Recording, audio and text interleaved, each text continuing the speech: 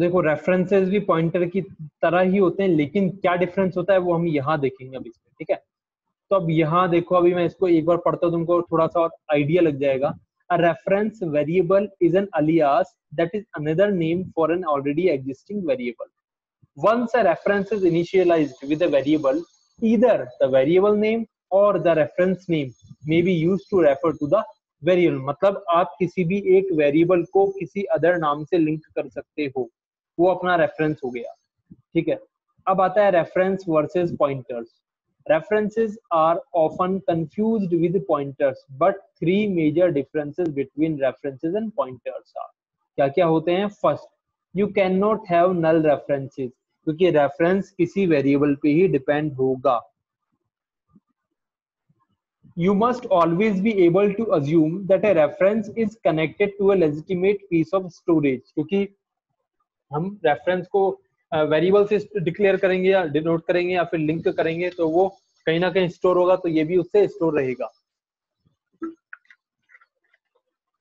इसके बाद आता है once a reference is initialise to an object it can not be changed to refer to another object pointers can be pointed to another another object at any time pointer में हम कभी भी change कर सकते हैं किसी को भी पॉइंट करने के लिए।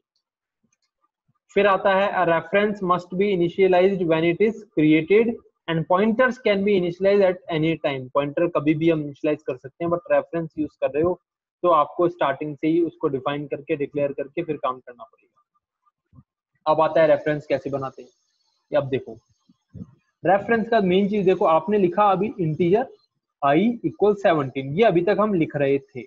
अब मैंने क्या किया? इंट एम परसेंट लिखा।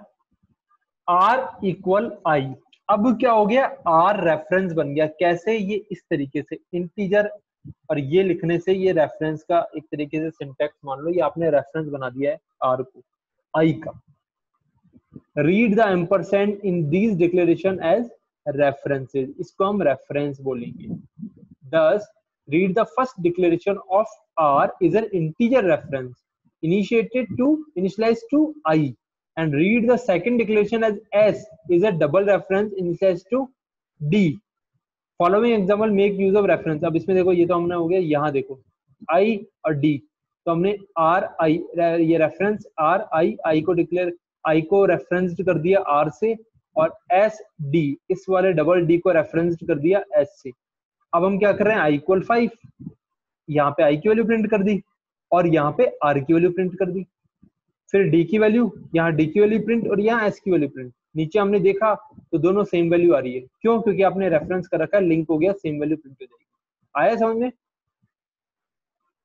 हाँ सर ओके अब है references are usually used for function argument list and function return value so following are two important subjects related to C++ references which should be clear. To C++ अभी देखो first है इसमें references as parameters कि अब आप references parameter में भी reference बना सकते हो। नेक्स्ट है reference return value return value में आप रेफरेंसेस बना सकते हो। अब देखो, ये हो गया ना यहाँ पे, ये हमने पैरामीटर डाला और ये रेफरेंस बना दिया एक्स नाम का रेफरेंस हो गया, ये देखो रेफरेंस वाई तो यहाँ पे आपने डाला ए की वैल्यू हंड्रेड बी की value two hundred before swapping आपने ए और बी की वैल्यू प्रिंट कर दी हंड्रेड टू हंड्रेड आ गया। और यहाँ पे आपने क्या किया? स्वैप ए कॉमा बी तो यहाँ पे ए का ए और बी जब यहाँ जाएगा तो ये इस पे लिंक हो जाएँगे रेफरेंस्ड हो जाएँगे। ए एक्स पे हो जाएगा बी वाई पे हो जाएगा। और फिर आप ए और बी की वैल्यू प्रिंट करोगे, ठीक है? तो 100 200 200 और ये 100 ये इस तरीके से आ जाएगी, ठीक है? और दूसरा क्या हो रहा है? हमने तो ये फ़ंक्शन लगा रखा है हमने ठीक है? जो कि इधर से हो रहा है, और ये वाला फ़ंक्शन कहाँ है? ये वाला फ़ंक्शन ये लग रहा। इसमें देखो, हम खाली रेफरेंस आप यहाँ बना रहे हो, अंदर सेम आपका जो लॉजिक होता है वो पुट कर दोगे आप। लॉजिक बोल लो फॉर्मूला बोल रहे हो जो भी बोलना है बोल लो। वो पूरा यहाँ एज इट इज़ पुट हो जाएगा विदाउट एनी परसेंट या लिंक ओनली हम यहाँ रेफरेंस लिंक कर रहे हैं। अगर ये पॉइंटर होता तो हम इनको भी पॉइंटर बनाते यहाँ पे। बट अभी हम रेफरेंस से यूज़ में ले तो यहाँ पे ये हंड्रेड टू हंड्रेड था और ये टू हंड्रेड हो गया। वैल्यू स्वैप हो। गई यहाँ पे। अब आता है रेफरेंस एज रिटर्न वैल्यू कि आप रिटर्न वैल्यू में रेफरेंस कैसे डालोगे? तो यहाँ देखो हमने क्या किया।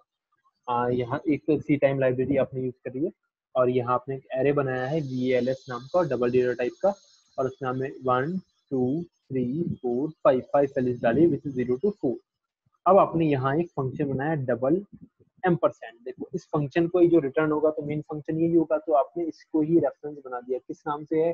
सेट वैल्यूज़ नाम से बन गया ये। इंटीजर आ जाएगा।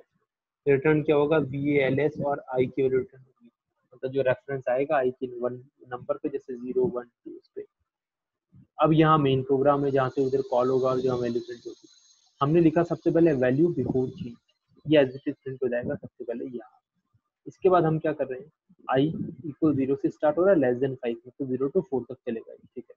ये तो आ गया ज़ीरो जो ये प्रिंट हो गया ज़ीरो देखो वी एल एस ये ब्रैकेट फिर आई की वैल्यू फिर ये ब्रैकेट ये ज़ीरो प्रिंट हो गया। अब हम बोल रहे वी एल एस आई मतलब वी एल एस ज़ीरो पे। तो हमने ये बनाया और ये एस था तो वी एल ज़ीरो पे क्या वैल्यू है? टेन पॉइंट वन जो कि फिर यहाँ प्रिंट हो जाएगी। तो अब जो ये लूप चलेगा। ये ज़ीरो टू फोर तक चलना है, क्योंकि ज़ीरो टू फोर तक ट्रू रहेगा और हमारे पास ज़ीरो टू फोर की वैल्यू है। तो zero one two three four ये एज इट इज़ यहाँ पे अपनी वैल्यू आ गई है। तो ये वाला लूप तो अपना कंप्लीट हो गया पूरा। इसके बाद यहाँ आते हैं। अब हमने क्या किया? Set values one equal twenty point twenty three set values three equal seventy point eight मतलब फ़र्स्ट वाली वैल्यू पे ट्वेंटी पॉइंट ट्वेंटी थ्री लगा देंगे। फ़र्स्ट मतलब ये ज़ीरो वन ये वाला फ़र्स्ट ट्वेल्व पॉइंट सिक्स की जगह, जो कि हमारा सेकेंड एलिमेंट है, वहाँ पे अब आ जाएगा ट्वेंटी पॉइंट ट्वेंटी थ्री और जो फोर्थ एलिमेंट है थर्ड नंबर पे, वो आ जाएगा seventy point eight zero one two three four ठीक है? जैसे ये fourth element zero one two three ये फोर्थ एलिमेंट हो गया। यहाँ पे ये वैल्यू चेंज हो गया। और वैल्यू फिर हमने लिखा value after change value after change आ गया। अगेन ज़ीरो टू फोर कर रहे हैं हम, और वापस आई और वापस इधर आई। तो हमने क्या किया? Ten point one twenty point three ये चेंज हो गया। Seventy point eight fifty change हो गया। तो एक तो ये चेंज किया हमने, जो कि यहाँ ट्वेंटी फोर पॉइंट से चेंज हो गया। एक ये चेंज किया, जो कि इससे चेंज हो गया। तो ऐसे हमने इसमें चेंज कर लिया। आइए चीज़ समझ में। हाँ सर और देखो, इसका जो ये हमारा जो फ़ंक्शन ये वाला था, जो कि ये लग रहा है, जो हमने चेंज किया है तो चेंज कैसे हुआ है? इस वाले रेफरेंस से चेंज हुआ है। इस फ़ंक्शन में जाकर। यहाँ से हमने इसको चेंज कर लिया। ये इसका एक एग्ज़ाम्पल फिर यहाँ पे एक छोटा सा ये रिटर्निंग रेफरेंस भी दे रखा है इस फ़ंक्शन